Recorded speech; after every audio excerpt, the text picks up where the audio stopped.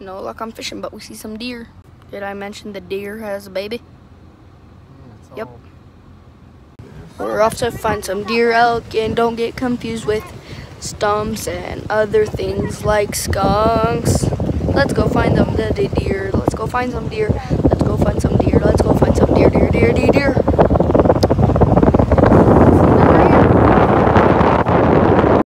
No deer yet, but we're just scouting for elk because